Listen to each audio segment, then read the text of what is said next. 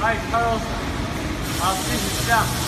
I'm uh, going to introduce my factory, our factory to you.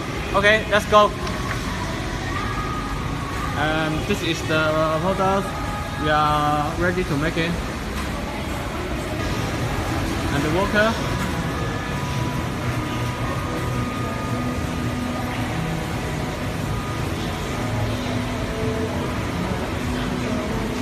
This is our accessible department.